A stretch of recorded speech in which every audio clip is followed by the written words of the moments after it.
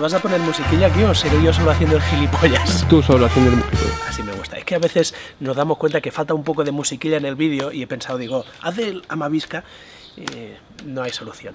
Bueno, estos días me habéis dicho en los comentarios que me veíais muy tranquilo antes de hacer 103 kilómetros con 6.000 positivos, con lo cual 12.000 o 13.000 o tal la procesión va por dentro. ¿Qué queréis que os diga? Estoy acojonado. Ahora sí que ya faltan pocas horas. Hoy a medianoche estaremos ya corriendo y hacía falta el típico vídeo de unboxing, donde vamos a contar también un poco el perfil, los habituallamientos, cómo haremos y todo lo que está en esta mesa me sirve de puta madre a cada vez que hago estos vídeos porque así hago la lista, repaso todo y digo, mierda, falta eso, lo otro. Entonces, de aquí la cosa ya se va a la mochila y de aquí a pocas horitas a correr. La carrera empieza a medianoche y yo creo que, bueno, tengo 25 horas máximo, con lo cual si en 25 horas no he llegado hasta arriba del todo, catacro. La mochila va a ser esta, ya la conocéis, no tengo que explicar mucho porque es la que he llevado tanto a... Em, tanto al sables non-stop como a las pruebas de bici, etcétera, con lo cual una, una, mochila muy versátil en la que me voy a llevar la bebida aquí y la bebida aquí. En total, el mínimo obligatorio es un litro y es lo que voy a llevar aquí, más lo que vaya bebiendo en habituallamientos. Uh, si de repente me doy cuenta que voy muy corto de agua, es posible que deje esta. ¿Por qué? Pues porque aquí, a pesar de que es pequeñita, va un camelback de 2 litros, entonces aquí podría llevar 2 litros más, luego pues yo que sé, uno de estos en la mano y en un momento dado te sirve más. Pero de principio vamos a salir con la, con la de siempre. Otra cosa el material obligatorio, una cosa muy muy chula que es este vaso que es de, bueno esto es de, silicona, ¿no? O látex o vaselina, no creo que sea. Total, que la haces así, lo guardas y bueno, haces así y ya está. Esto es para llegar al habituallamiento y que no haya vasos de plástico para tirar, sino que cada uno lleve el suyo, algo así. Le pongan cataclac, vaso de vino y para adentro. Importantísimo. Jesús Sánchez Vaz, muchas gracias una vez más por darme unas buenas pastillacas de sal. Son las mismas que utilizo siempre. Entonces, cada horita, una de estas adentro, porque lo de beber agua está muy bien, pero o le vas dando a meterle sales y cosas de estas, o si no, te deshidratas incluso mucho más rápido. Eh, ayer estuve en, en, la tienda y me compré, yo creo que he comprado seis, y hoy voy a ir a comprar, porque me parece que me quedé corta, seis más de estas. No la abro, pero es como una golosina en cuanto a gusto, y como últimamente a la hora de comer he tenido algunos problemillas, he cogido gusto cítrico, que es el que me gusta más, entonces con unas cuantas de estas y alguna sólida, yo creo que iremos. Además, en los habituallamientos cada 10 kilómetros hay de comer, así que ahí aprovecharemos. Esto va a ir remachado con unos cuantos, pues eso, eh, frutos secos. tampoco me llevaré muchos, porque esto habrá en los habituallamientos, así que quizá me lleve una bolsita por si acaso, pero entre habituallamientos... Eh. ¡Cluc! Espero que los habituallamientos haya una cosa que me ha salvado en muchas carreras, que es el caldo. Entonces, el caldo cuando no te entra comida es comida, cuando no te entra bebida es bebida y cuando no te entran sales o, eh, bebidas isotónicas, etcétera, lleva muchas sales, con lo cual es perfecto. Caldo de pollo, cata crocker. Bastones. Hace mucho tiempo que no me veis con bastones porque hace mucho tiempo que no me metía ninguna pechada de estas, pero cuando hice eh, del estos son los que llevé y estos son los mismos que me voy a llevar. Ah, bueno, coño, que no lo he dicho, hostia, muy, muy, muy importante y además aquí tengo una cosilla a comentar. Zapatillas que me llevo, las Raven Boost. ¿Por qué estas zapatillas? Son las más parecidas que hay en cuanto a todo el tema de la horma y a todo el tema del refuerzo para hacer 100 kilómetros a las Ultra Boost y últimamente, como el último año en asfalto había corrido con las, con las Ultra Boost, pues dije, hostia, que sea lo más parecido, más parecido, más parecido. Y aquí hay que decir una cosa, señor Samu Cortajarena, te voy a cortar la jarena. No, no, te voy a cortar los huevos, pero muchas, muchas gracias. Es un seguidor, eh, se ve todos los vídeos, los comparte, tal, no sé qué, no sé cuántos, y de repente vio que yo me compraba unas zapatillas, pensó que no eran las mejores, porque el tío de esto eh, sabe bastante, y se fue a una tienda que se llama Depor, Depor con dos, e, eh, con dos R's, y coincidió al jefe para que de y sin saberlo me mandara las zapatillas. La verdad es que las probé y desde entonces, hostia, muy, muy, muy, creo que muy, muy buena zapatilla. Samu, de verdad, muchas, muchas gracias, te lo agradezco mucho. Y en cuanto a la ropa, a priori, estas son las mallas que voy a llevar. Mallas compresivas, son las mismas que utilicé en sables non-stop, las he utilizado muchas veces para correr entre semana también.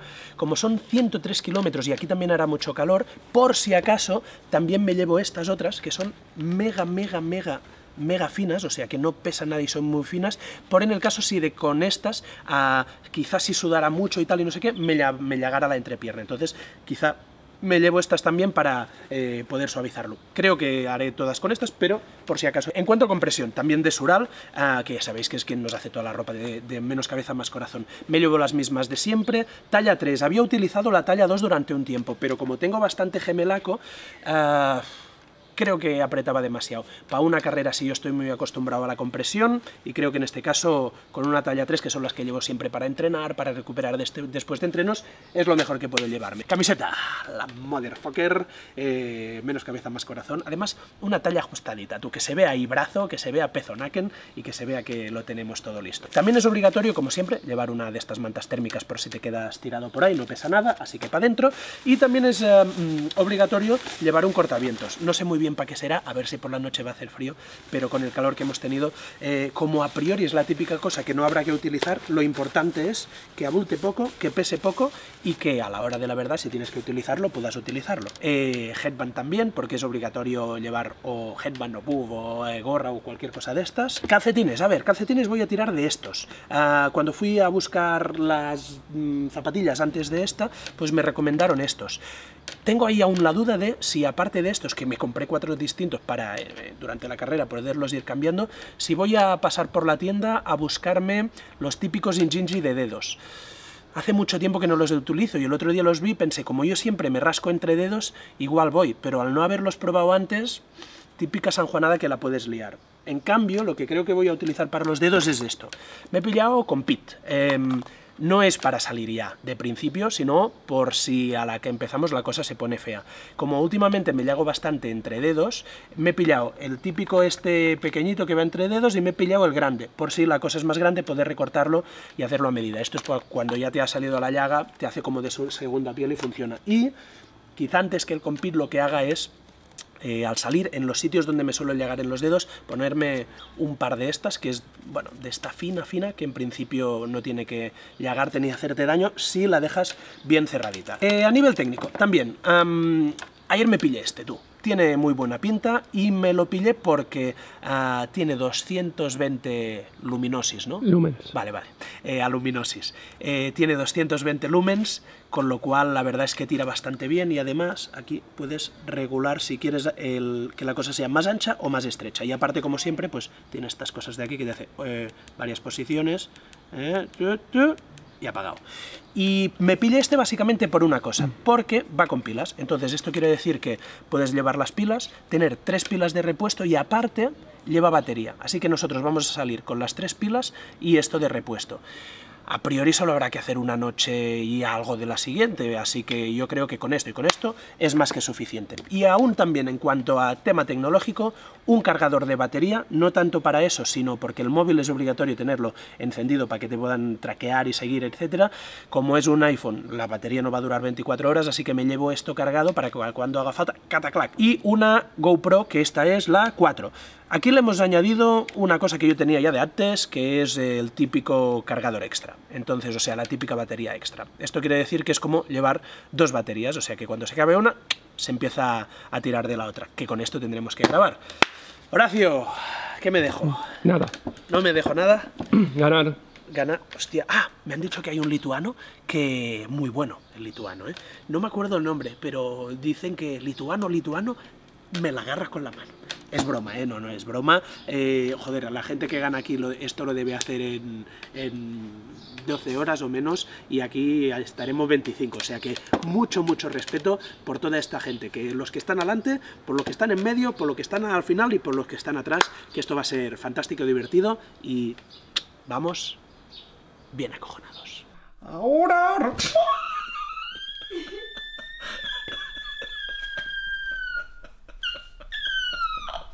Esta es lo que es lo que te pasa cuando... Tres horas, tío. David, hay que ir de cara a barraca porque si no, mal vamos. David es el padre de la criatura, es el padre de Dani, que es mi hermano pequeño, o de mi primo hermano, de mi cuñado, Jesús.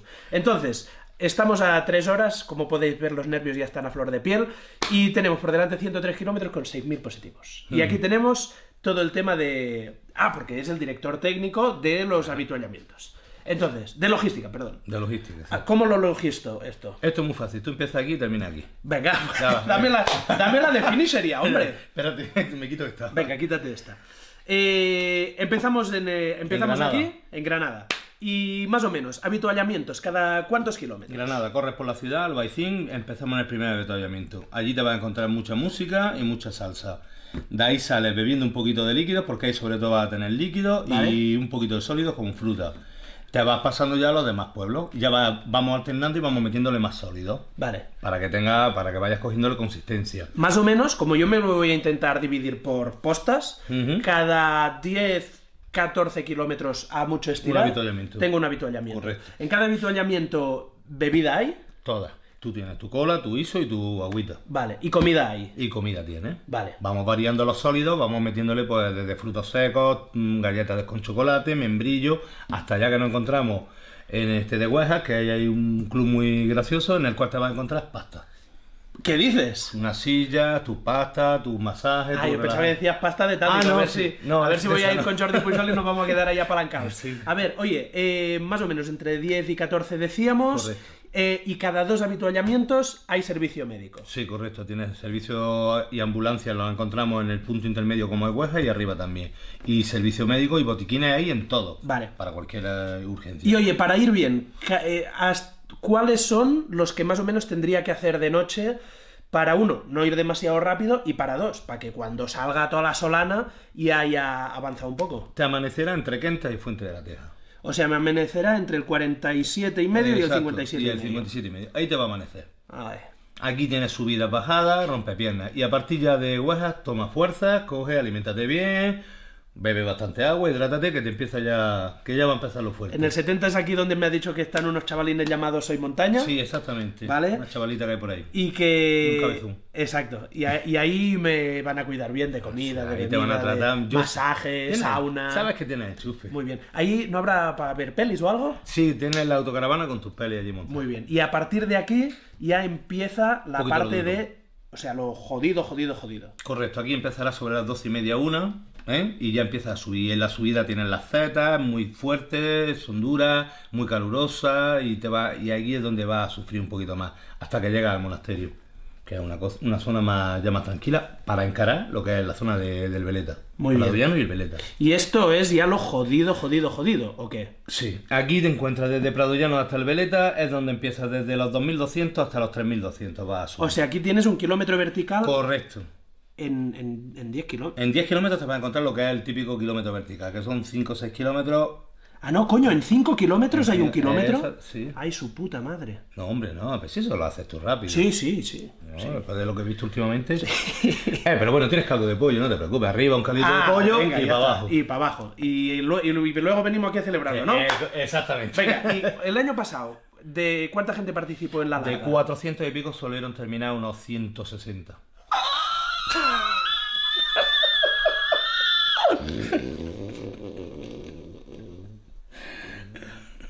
No te rías, coño, que se ha acabado el vídeo, hombre, ya. Empe- quede bien. ah, a las 12 de la noche empieza y tengo 25 horas. Exacto, Y si 25. no he acabado en 25 horas, ¿sabes qué? A la casa.